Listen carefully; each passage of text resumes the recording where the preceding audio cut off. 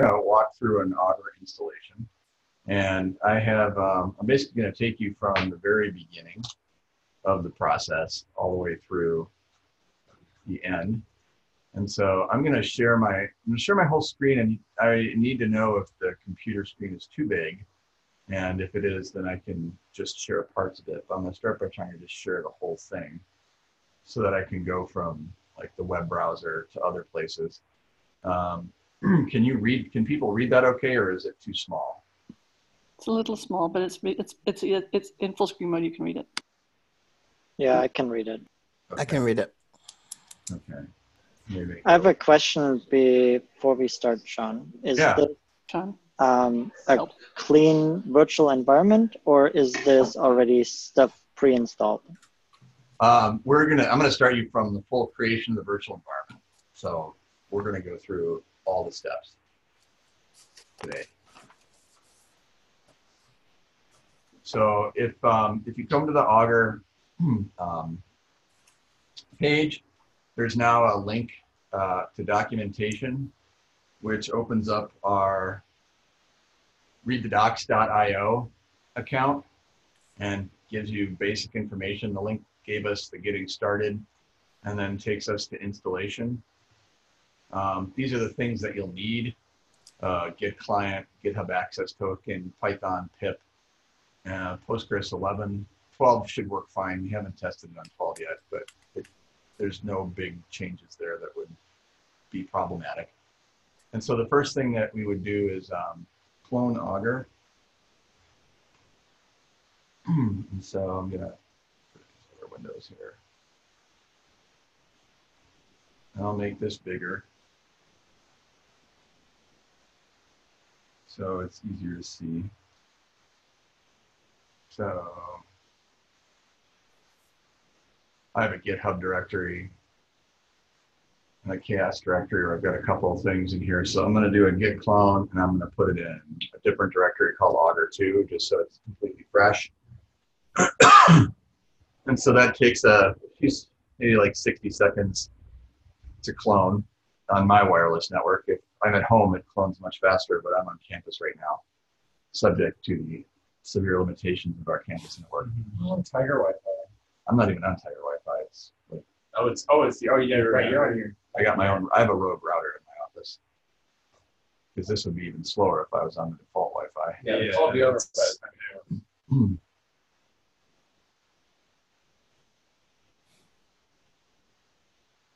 And so uh, while we're waiting, it is worth mentioning, Sean, if you'll go back to the, the documentation. Yeah. Um, that what is Augur page that we skipped over, that doesn't actually have any super, um, it doesn't have any code or installation instructions. It's just for people who are brand new to the project, have no idea what we are. Just a quick primer on what we're doing, why we're doing it, and who's doing it. So I think most of the people in the call are pretty familiar with us. So we can just go ahead and start with this section. Should be getting there. Yeah, so while we were waiting, when we tried the installation, was it last week? We had used the README in the top level on the Yeah. repo. We've pushed all the changes to master now, so that everything is uh, clear in master as well as dev. We hadn't merged the changes in dev Mhm. uh, to master last Yeah. week. All right, so now I have thank you. this. Uh, oops, ls. So now I have my Augur 2 directory. And the next instruction is to create a Python virtual environment. Hopefully I don't have one called this already, but I might. Um, Oh, you have to specify Python 3. yeah, so I have Python 2 and 3. Excuse me. I don't even know if I, Yep, there you go. okay, so, and then should probably add something if you have both Python 2 and 3. You want to create a 3 environment. So if you go, so do the commands, Which command? the one you just copied. Oh, okay. Yeah. Yeah. So if you go back to the documentation, right here, be sure to use the correct Python command. I can make that bigger because some people Well- probably just not read it. Um, I'll probably I'll put it in line with the documentation or with the actual code so it's more visible. Yeah.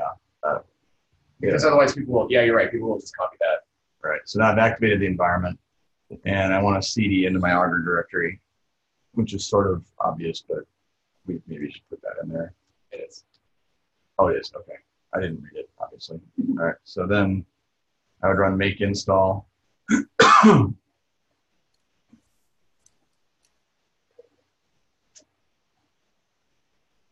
And this takes a minute as well. The First time you install Augur, it downloads all the Python packages that are required. Every time you install it after this, all it will do is update Yep. anything that needs to be updated. And most often, if we're updating a package, it's because we got a notification on GitHub that there's a new version.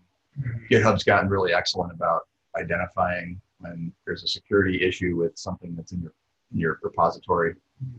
And they actually have a bot now. Many of you may know that automatically will create pull requests for you to update your your required versions in your requirements file. Very nice. Su- Very sweet, yeah. So now we're going through all the workers and installing all of them. Yeah, in the version that y'all looked at last week, we had prompted you to install every worker, and I said that we don't need to do that. So I'm gonna do, in, in my case, somebody just posted there, chat plus one from, okay. Uh, Uh, the Oh, yeah, thing with using uh, Python 3 is that some people, uh, I don't want to assume that people have Python 3 mapped to uh, Python 3. For example, on my computer, I've mapped Python regularly to be Python 3. Um, so I'd rather not make that assumption. It may be, in more cases than not, it probably would be Python 3, but that's Yeah. something I would have to see what most people do and what Python's recommended way of doing it is. I just went based off my own experience, but Yeah. I'm one person. I think, I think Python 2 will be fine. Okay. Any questions thus far? I should pause and breathe for a moment just to. Jan, okay, there's no questions since nobody said anything. Andy posted a question in the chat. Yep, And, uh, oh, I'm getting a red error message in the install. It depends entirely on what the message is. Yeah, um, if you're doing, if you, not sure, what- is it like pip doesn't work or? If you've activated your virtual environment, it should be included as long as you've got pip installed on your computer.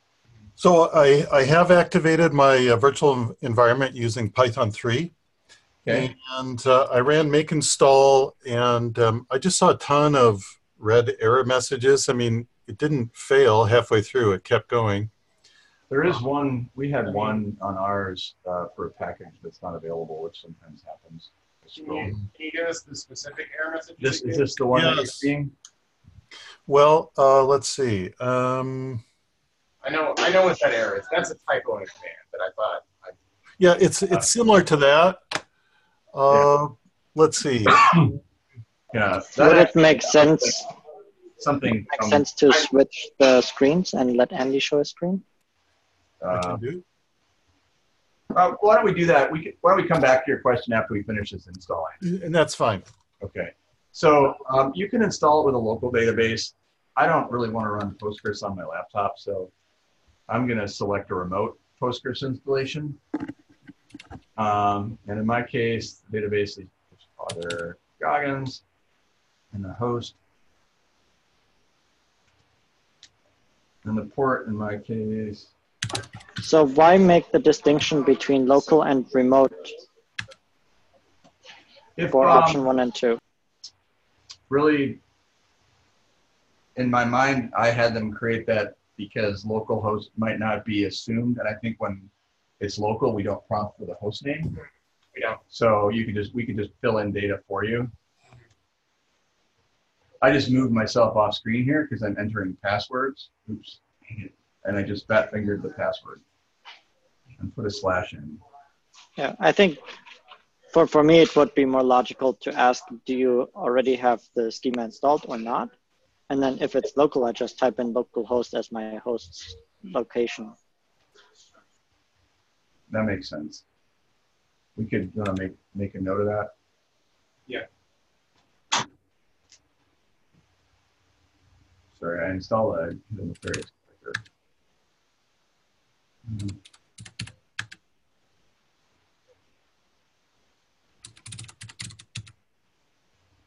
So that actually, Georg, that's option three. It, it says installation with Augur database. It should say Augur schema, um, but that that is uh, that situation is covered. But I'll, I'll double check. That's actually It'll be So, No, right. my- my criticism, my suggestion was only right now. The question asks two different things. One is, is it local or remote? And one is, does it have a schema? Does it not have a schema? And there, so there are four options total, but you only show three. And really, it's necessary only to ask one question, whether you have the schema or not. And then uh, that's my suggestion. Can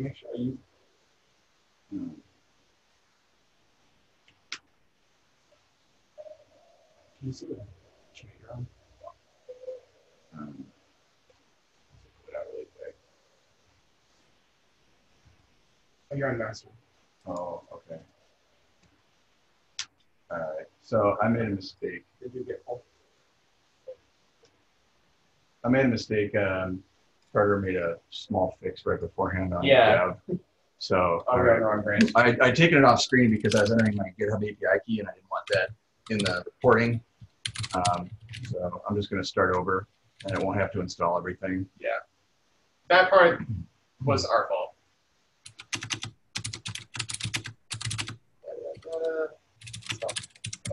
I'll get out and check and see if any file built up exist already. Uh, you know what? No, it just makes more sense to install it every time because most of the time it won't do anything.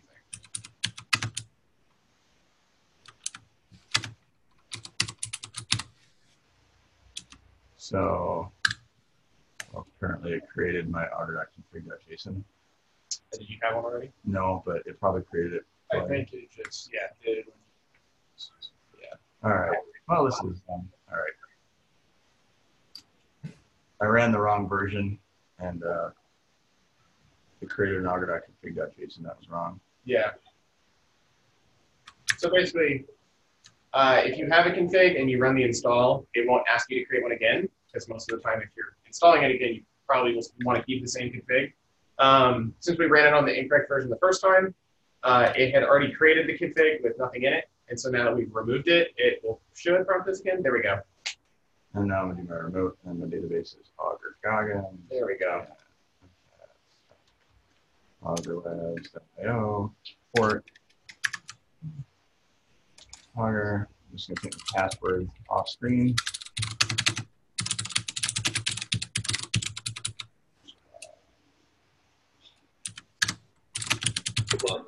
Andy, do you mind if I mute you? The typing comes through. So it's prompting me for the wrong user's password right now. And that's what I thought Carter was fixing, but That's uh, what I also thought I fixed. so You are the. You might have to have made. I've never seen it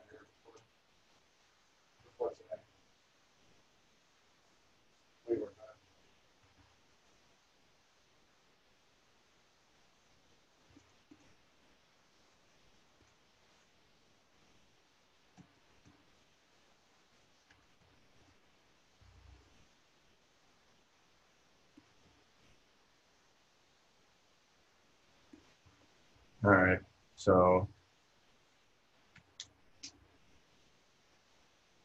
database at database SKI.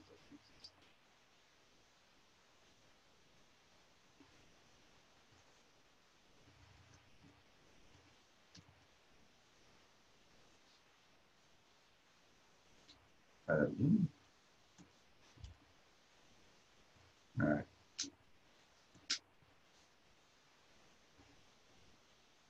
Um, no password supplied. Okay, so there's something wrong with the database config on the installation still. That's my fault. Um, so now I'm gonna install Augur's front end dependencies. I ran into that uh, no password supplied error as well when I tried it. Yeah, it. so Carter's working on fixing that right now. He thought he had fixed it. The problem is Carter's machine has installed Augur many times, so we need to get him a different machine to use. He needs to stop installing it on his own machine. And the front end, so the back end is all Python. The front end is largely relying on Node Package Manager NPM. So the reason we allow you to make a choice about whether or not to install the front end dependencies is because all the data collection work will function independently of the front end. So you could install Augur's back end only and not install the front end and just have a bunch of data that you collect and serve up for other web apps.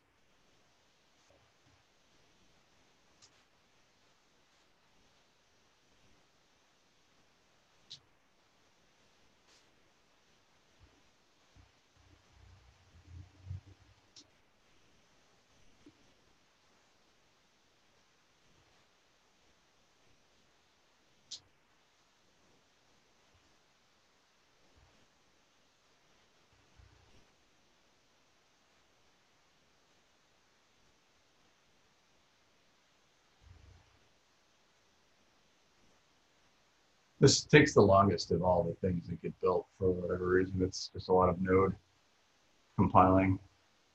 Yeah, which is part of the reason why we ask for that separately, because that's just uh, us trying to fit to different use cases. Because some people just want our data in our back end and may go off and build their own front end. So installing all the front end dependencies would be unnecessary. All right, there are a couple of build errors in here, but the system actually works with those errors. Um, I run into that build error as well, so that's good to know that it's. um,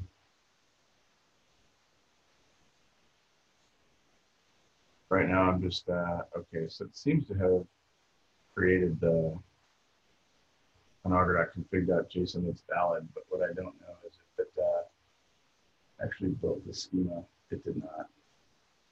So right now, the schema did not get built. Um, uh, well, it's there that you're working on.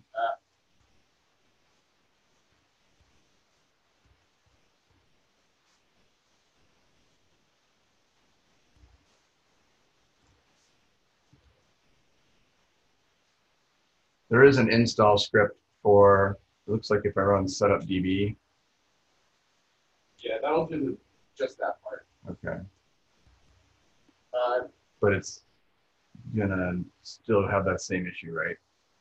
yeah, except Okay, so I'm going to demonstrate um, what we do if it if that failed. You can always take the um,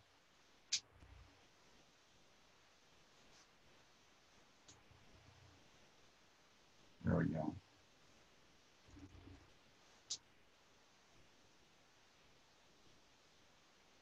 I can execute a SQL file, and basically there's inside of Augur,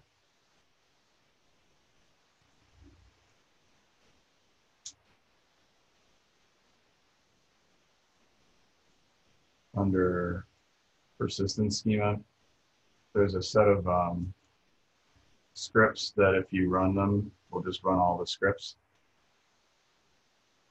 Should it should work. I guess we're gonna find out. I haven't tried it locally.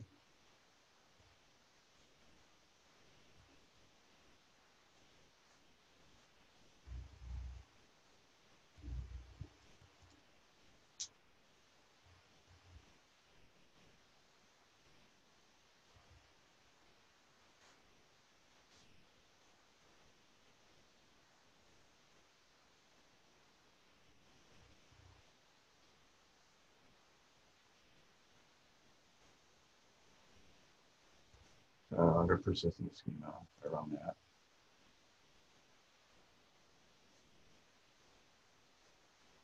Yeah, that doesn't work. So have to run them one at a time. John, could you do the fact that it's necrocase.argolab.io and not regular? The Um, subdomain? Because I can SSH into argolab.io, but not necrocase.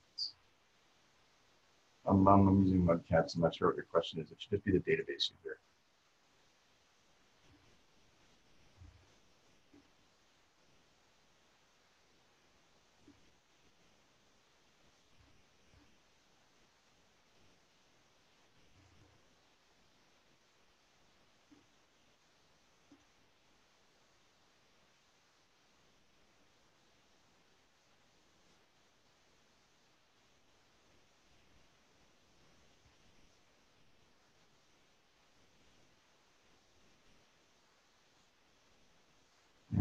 Some seed data is our last one. Yeah. And this, the install script should do this automatically, but since it didn't, I'm showing you how I hacked around that. So now I should have um, all my schemas in here. And I do. So if I go back to my install, I'll have to do that. Now, if I want to run it, what do I run? The backend? The whole thing. Oh, make that. That's what I thought, but oops, my I'm in the wrong directory.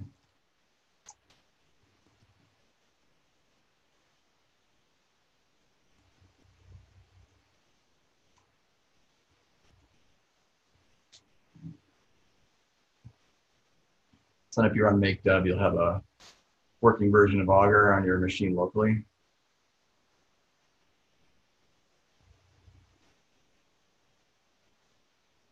What's the difference between make install and make dev? make install installs the the um, system installs augur make dev runs augur Thank you. so if i go to my local ip address here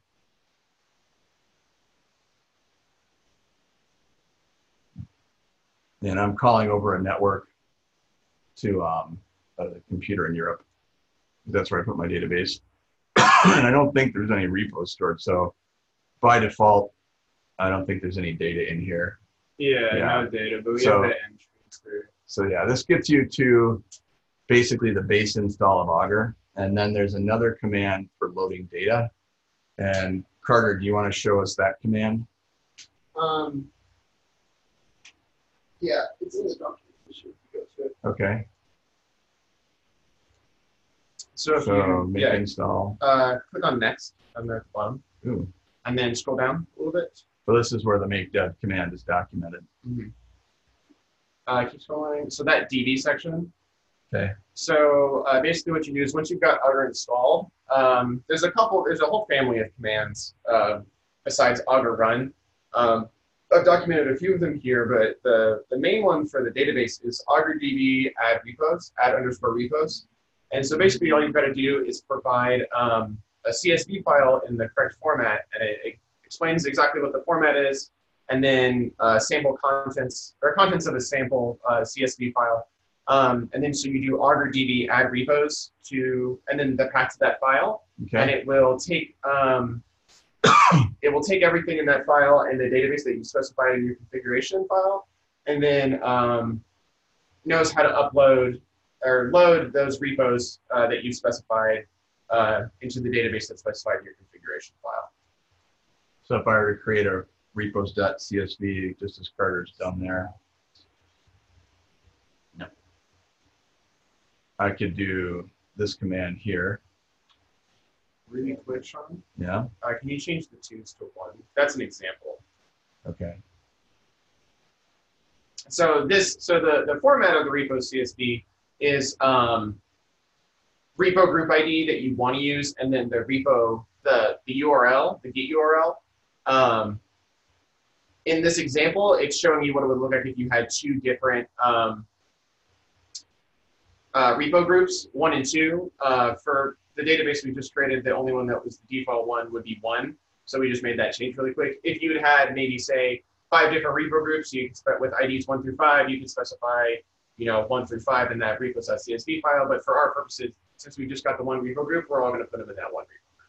So we see that we have added the three Git repo URLs, um, and they've successfully inserted each one of them. So if we go back to the database, it should be in there. If I have to restart it with make dev. Right. So I know that Augur has a JSON file to define the project. Um, have you thought Defines about para- it defines using, the parameters the JSON file does. It's just a configuration. So the JSON file indicates your ports and stuff. Really? So I'm, I'm talking about the list of repositories to analyze, right? Right.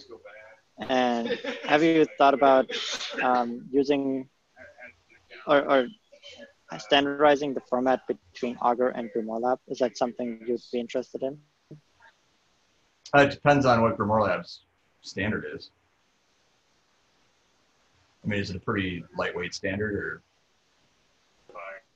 Well, it allows for um, for th- for things like groups and meta information. So, it, but those are optional JSON fields, and JSON is a little bit more difficult, in my opinion, to Yeah, I mean, write reason we- manually than SC. Yeah, so the reason we started with this very simple, um, which I can't see anymore, but the very simple JSON structure or the very simple CSV structure like is specified here is, and we need to add for group creation, like, if, Oh yeah. yeah, like it should automatically create groups or something, but Yeah, I can. I this can- makes it, this kind of format makes it super easy and lightweight for a completely new person that's not familiar with JSON to just load up a bunch of URLs. So I agree. think, I think optionally allowing people to specify more metadata using the JSON structure that Grimoire Lab uses is a good idea. Yeah. Yeah. This And was. we should- But this is for your, you know, your 10 or 20 person, 20, 20 or 20 repo community manager that just wants to watch their stuff, probably has only one repo group. This format is, it's a faster starting point. Yeah, That's and all. we just kind of wanted to get like a proof of concept out the door. Like, it works. There's a bunch of stuff that exactly like you're mentioning here that would be really, really nice that we definitely need in there. But for right now, this is what I was able to implement. Yeah, and no, this is definitely easier. I 100% agree. Uh, just another comment. One of the things that we're discussing in Grimoire Lab is to uh, try to get away from editing the files manually and providing a user interface for Yeah. adding repos. where we have exactly the same priority. That, uh, in fact, I think that's the thing I've asked Carter to do right after we polished up this release. Um, Okay, provide an interface so that people can just put in their own repos and put them in groups. Um, for us, we've we've not done that up to this point because in our minds we had thought that we wanted to make sure login was enabled before we allowed people to edit things. But I think where we've landed on that is let's assume a uh, standalone implementation on someone's computer, and if we do that, then they have they're the only ones with access to this like local host kind of format and we could optionally say, do you want your repository admin screen to run or something? Yeah, no, I, I agree. Right, it's all future work. Uh, Right. It would just be nice if we if we could not duplicate the work, but maybe Yeah, and I think, you know, I mean, together. when we go to specifying other metadata, I, I think it would make a ton of sense to use the format that Grimoire Lab is using. Yeah, definitely.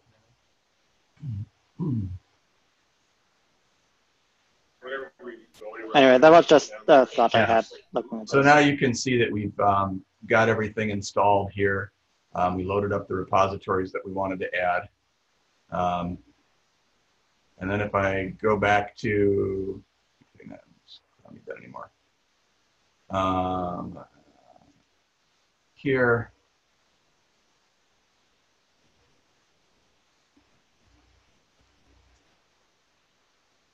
I don't know what this is. What is Augur util shell? Oh, so that's for um, if you want to test, maybe you're working on a new metric and you want to test to make sure that it works or just what the output looks like, or you're doing some debugging stuff. Um, this makes it really easy to uh, test that metric by just, it drops you into a, an IPython shell in your terminal um, with Augur already instantiated and an application, an instance of the application already spun up for you. So you can literally just like do that app, print app.metrics issues new. Maybe that's what I'm working on.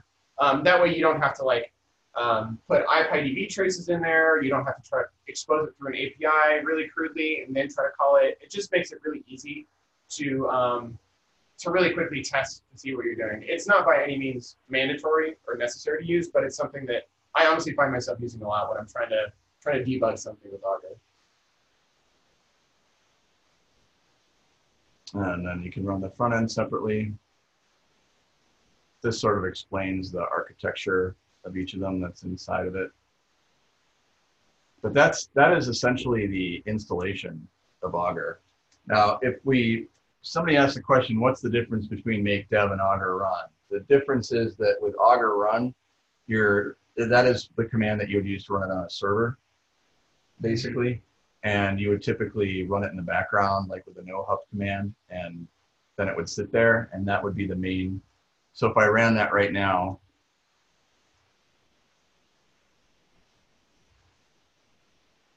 And then don't you have to run the find? Yeah, I do. But the one reason I run, might run augur run like that, where I have this run it running it in the background, that isn't going to run the front end. But what it does do is it allows me to run um, the all of the worker processes um, in the background. So Mhm. if I if I was going to do that, um, and this isn't, I don't think this is in the documentation yet, but we're going to add it like right after this call. What's- Um, how to start the workers. Oh yeah, that's high on the list. Does the switch command work? Not sure. It's it, Okay. I, it may be worth. All right. So we'll document how to start the workers and uh, provide that, provide a data collection overview in a subsequent. In the Call. tab, you could just go to the workers directory and start it with the GitHub workers start, like in a different tab. Like a different, you mean, oh, like a terminal? Yeah. Yeah, no, I know. I, I just want to document. Well, I guess I could show them. So the workers are, hmm. All, the workers, this is what collects the data. And you can see um, these are the different workers. The, the main ones that you're probably most interested in are the facade worker, the GitHub worker, the Linux badge worker, and the pull request worker, and the repo info worker. Metric status and value. Value isn't fully developed yet, and metric status is um, it's it it's a meta worker that we give you the data for anyway, so you probably don't need to run it, but it's there if you want to run your own. And then the insight worker generates things. So if I want to go to the facade worker, and I really don't know.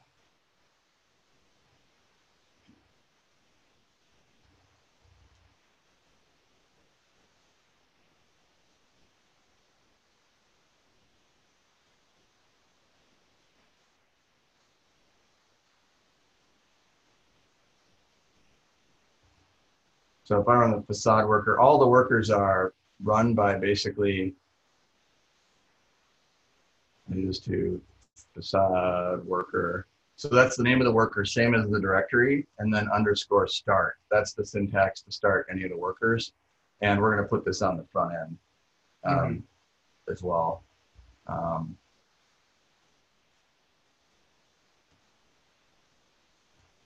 and once that starts, um, it creates a file called worker.log automatically. And then it runs it.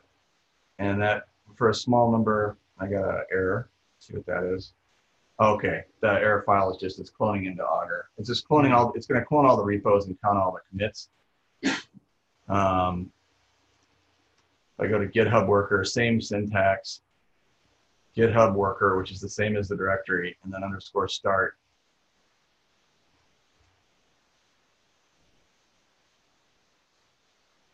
And it's going to collect for that.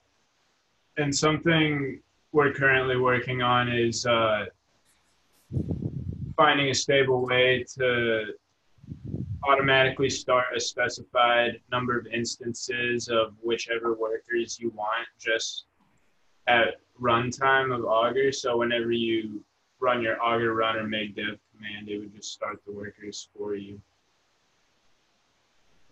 And we've had that working before, so it might still be working. It may but- still be working. Georg, do you know if Grimoire has got workers that actually clone the repo, or do they just pull the API of GitHub? Do- Do you know one way or the other? The Perceval does clone the repo to collect information about the git log and who's doing what in the commit history. Thank you.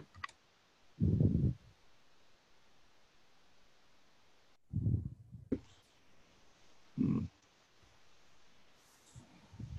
That's fascinating. I don't really know what that means. Never seen that before. It may have been unrelated.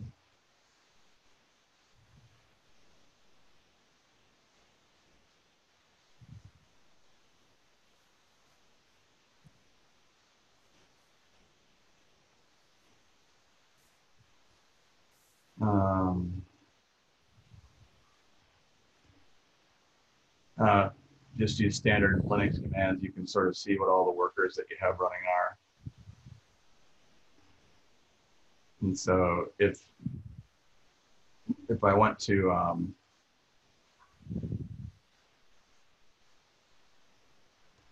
npm run serve is the front end command, which is run for you. Basically, the back end is started for you on make dev, so it does the auto run and it does the npm and serve for you or run serve for you. And in the case of, but if I want to run them separately, I can also do that, which is basically what I'm showing you. So now there should possibly be some data already. Yeah, so I've got uh, started to get the commit count for Augur. Haven't pulled the issues yet. But it's counting commits for Augur already. And so once you start the collection, it's basically just going to get data for all the things that you've asked it to get data for. And that's how you run Augur and collect data and start doing cool stuff. Any other questions or any questions, I guess, as we've gotten this far? I'm sure there might be some.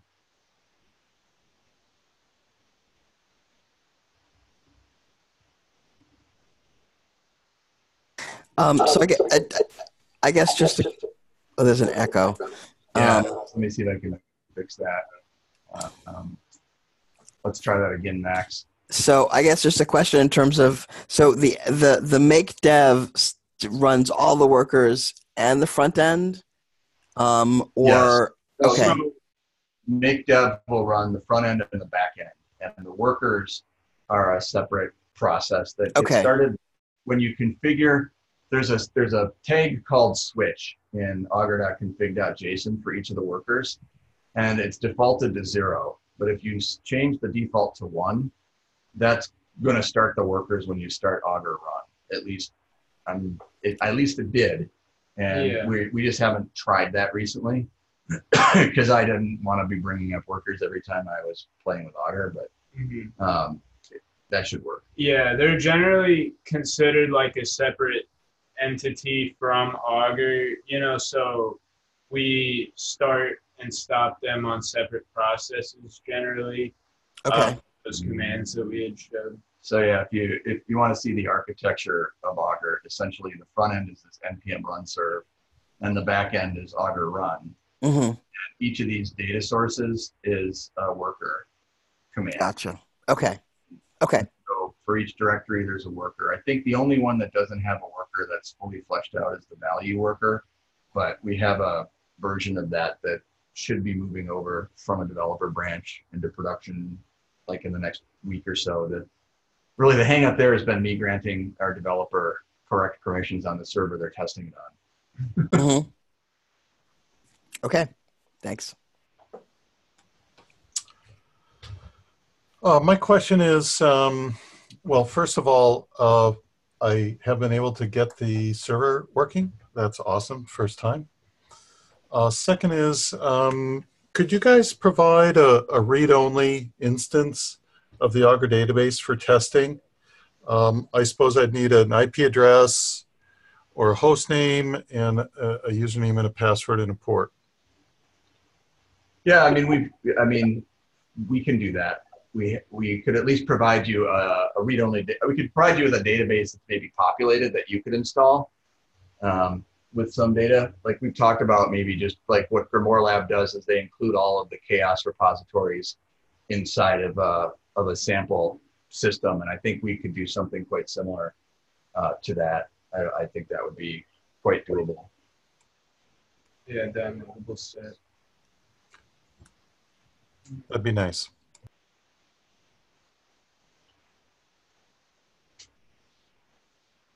Any other questions you guys had with the install? Did everything kind of make sense?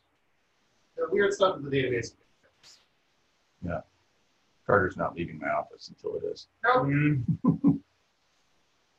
I mean, I I'll try it again with the because I think I did it last week and probably so there's some code changes, but I ran into an invalid host header when I tried to um, when I looked at the the front end. So, um, but I'll try it again with the new stuff and, and Alright. run into that again. Uh, are you? What you know. browser are you using? Uh, Firefox. Try it with Chrome. Oh, I've okay. occasionally I've occasionally run into an issue with Firefox, and it doesn't seem to concert, occur consistently. It seems to depend on what network I'm on. Um, but sometimes Firefox has a issue with uh, it's like C underscore event router or something, where it thinks it's doing a cross host hosting. Okay. I'll try of that. some kind. I've, I've seen I'll that try that. before, and I haven't been able to replicate it consistently. It, Okay, it does Okay. seem to vary based on my local area network configuration. gotcha. And Chrome doesn't secure me in the same way against whatever Firefox thinks is happening there. Okay, all right. I'll try that.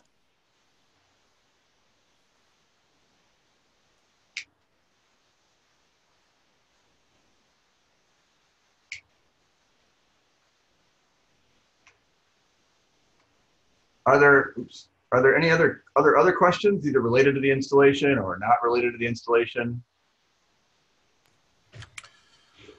Well, if there's if there's time remaining, I still have not got workers um, running, so maybe um, maybe I missed that, Um and if I did, I apologize. But um, but with the time remaining, if we could talk about just dig into the workers a little bit more and talk about that, that that'd be useful for me. Um, so essentially with the workers, the, the most important thing to understand is that they're these separate processes that exist um, and they're all in the workers directory. And the format for starting them is um, really you can actually, so I went into the directory to start them, but I'm going to turn off my front end now so I can show you this. Um, I'm actually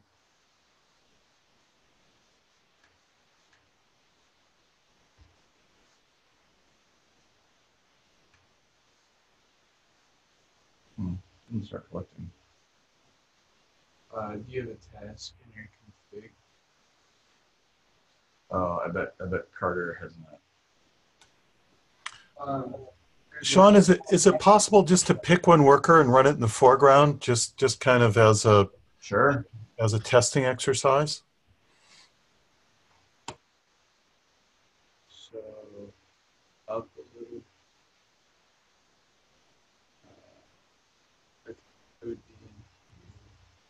So what for issues? Um, why is this in the? Why the repo stuff in here? Uh, this is a way of providing tasks. You could give an array of repos Okay. as well as just giving the repo group ID. Okay. But um, I think having them both there because so if you want to delete the repos, yeah. Um, and then get rid of that. 'Cause I think Oh, right, that'll- yeah.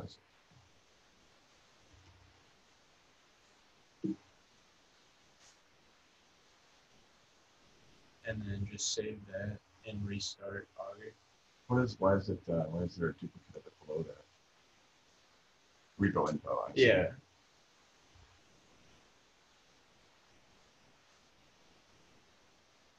And so we plan to document this very soon, but the way workers are told what to do um, is through these configurable housekeeper tasks. And um, the housekeeper is an entity we designed that just keeps up with the regulation of tasks that you would specify right there in the config as you saw. And so how it works is once you start up Augur, uh, it will read that config file, and the housekeeper process will start iterating through repos and sending them out to the workers. Um, Yeah. and so So this cat is- the log.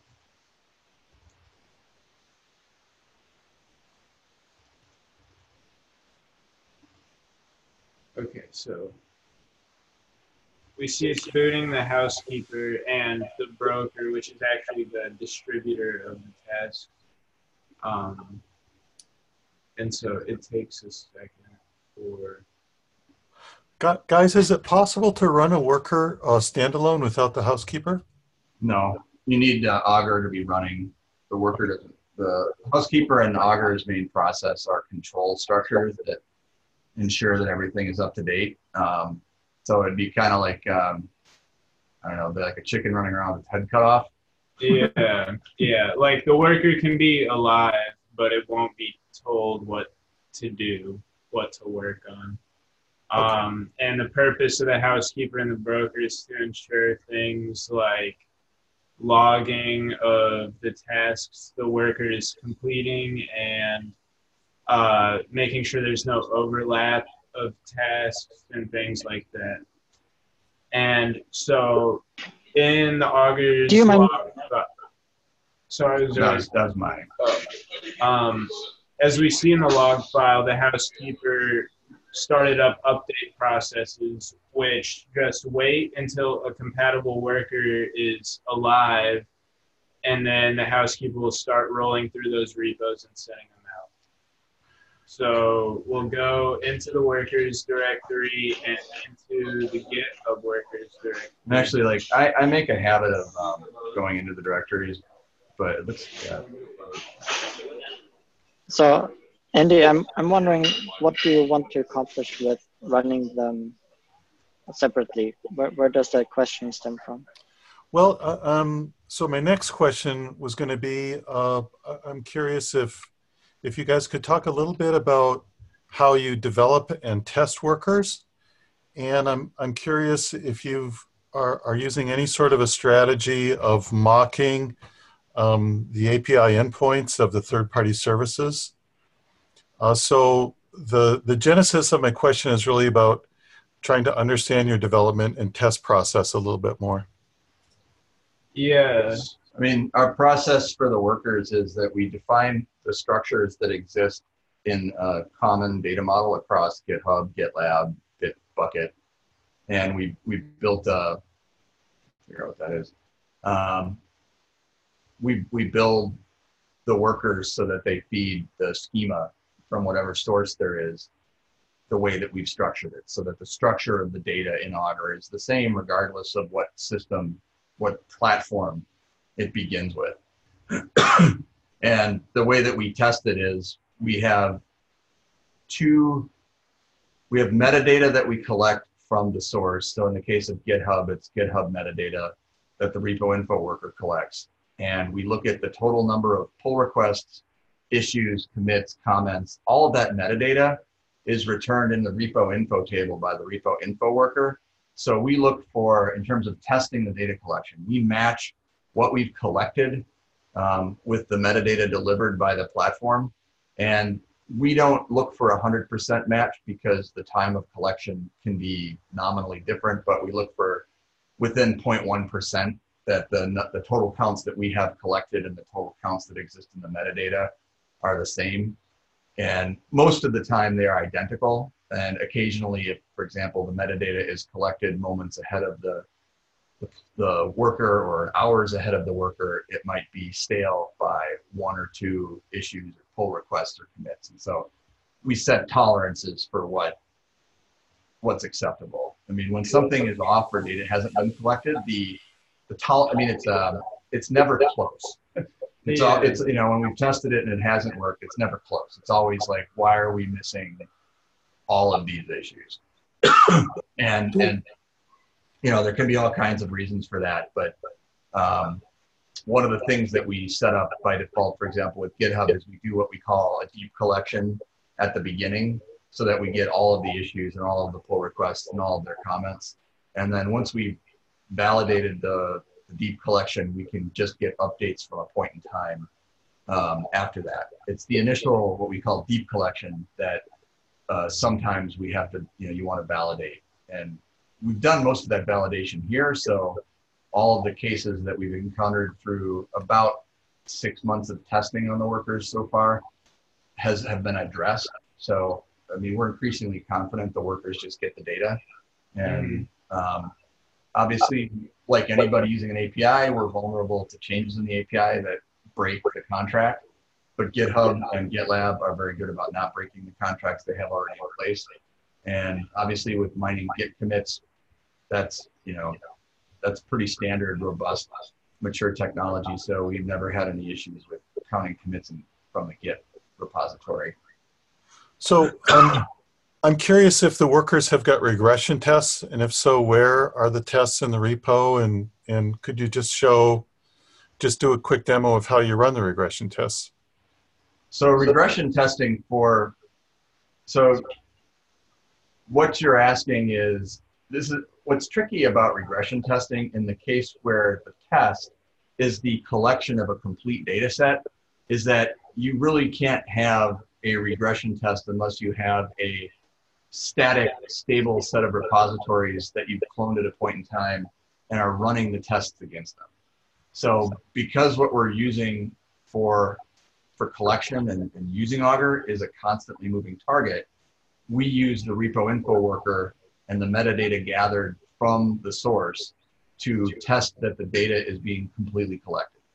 And so the regression test isn't the, uh, the regression test isn't does the software function has anything changed that would change the collection the regression test is are we getting the complete data set that we expect and that the the source tells us is there and so our regression testing is focused on the data and not the software like we make sure the software runs and we make sure that if it's changed that we've done basic testing that it'll execute but validating that the program runs as it previously did with a set of regression tests will not guarantee that it actually is collecting all the data it's supposed to collect because we have this contract with a third party.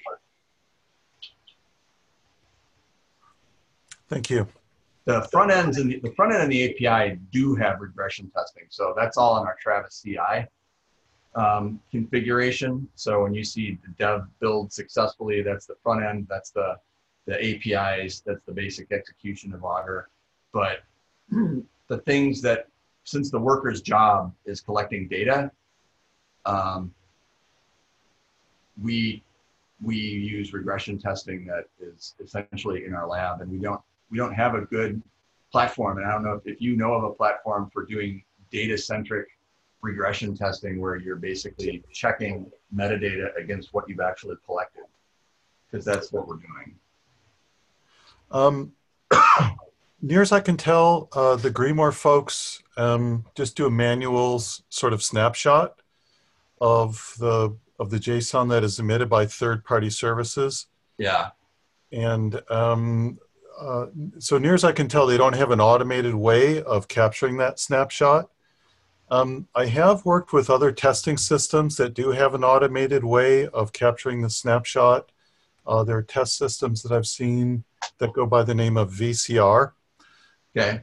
Where you know there's there's sort of tooling where you can say, oh, capture you know a snapshot of of that JSON, you know, at point in time, and you know use it for Yeah. testing going forward. So I've seen various approaches used, and it's it's tricky, you know, especially if um, you're expecting to have a monster, you know, data set to like seed a, a repo. Yeah. Um, exactly what would the best way to regression test against that? I'm not sure. I, I think I think you know I'm I'm open to other ideas, but yeah, as a lot of people know, I've been doing data centric work for a really long time, and testing what you actually collect against a metadata service that tells you what you should expect is, I think, the most robust way to account for all of the things that can change in that pipeline. There's there's you know proving that the software works consistently doesn't necessarily prove that you're getting you're going to get the data. So a change in the GitHub API that affects what we're allowed to collect or what we do collect that may not show up in regression testing of the software only. The only way that we're going to know that that's happening is if we do a full collection from scratch on a set of repos and see a difference between what we collect and what the metadata says. So there are so many pieces in the pipeline that I, I don't think you can trust the data uh, is completely collected unless you have some kind of triangulation with the metadata service like GitHub provides for total commits, total comments, uh, total issues, etc.